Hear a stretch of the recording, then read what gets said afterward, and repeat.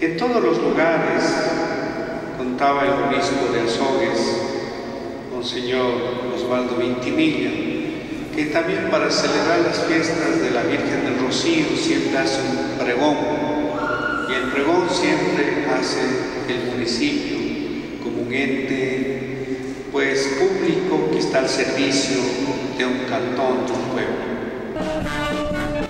Que vivan estas fiestas y sobre todo con la Eucaristía que hemos iniciado, la procesión que hemos realizado y sobre todo el tener esa, esa fe intacta, lo que durante tantos años a Girón y a todo el Azuay nos lleva y esa protección sagrada en la cual estamos todos amparados.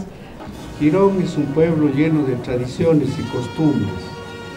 Decía, desde 1650 comienza ya como parroquia eclesiástica tiene cuatro características la fiesta de Girón. Primero, es una fiesta llena de fe, y amor al Señor de Girón, la cual vienen mucha gente, romeriantes, devotos, especialmente nuestros hermanos migrantes.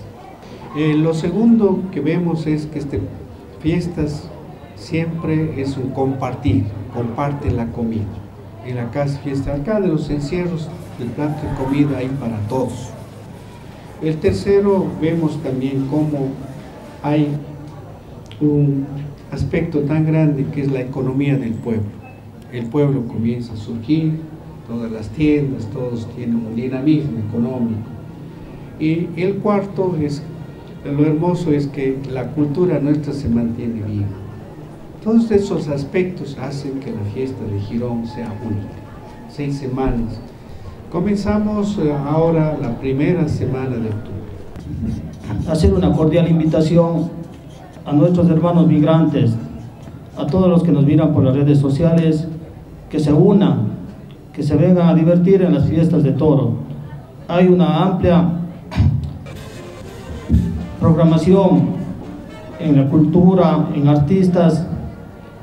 De verdad, a nombre de todos los priostes, hago una cordial invitación un mes y medio de fiestas que tenemos, un agradecimiento al Señor de Girón por todos los milagros y por todas las bendiciones que nos da.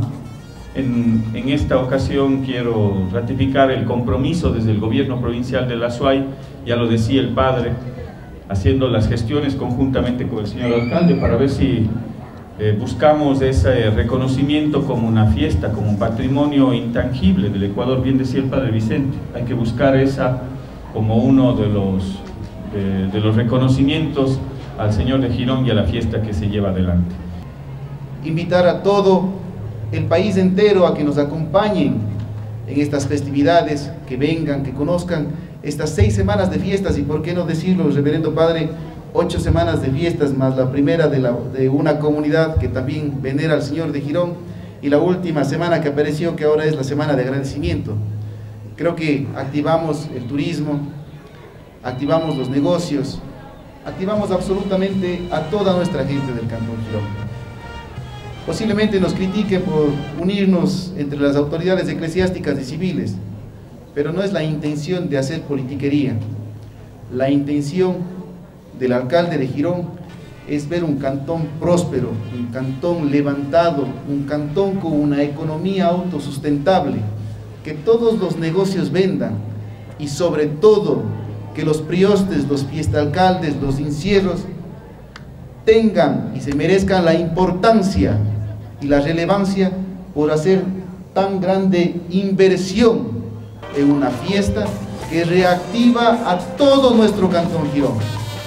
Estamos fortaleciendo la fe y la devoción que tienen y tenemos hacia nuestro venerado Señor de Girón nuestras fiestas ya deben y deberían haber sido ya declaradas como un patrimonio intangible del Estado.